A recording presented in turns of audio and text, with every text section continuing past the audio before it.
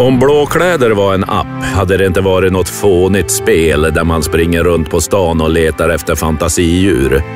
Nej, Blåkläder hade varit ett spel IRL där du dumpas på randen till en aktiv vulkan insmord i honung så att de afrikanska mördarbina lättare ska kunna hitta dig. Och du, det är deras honung.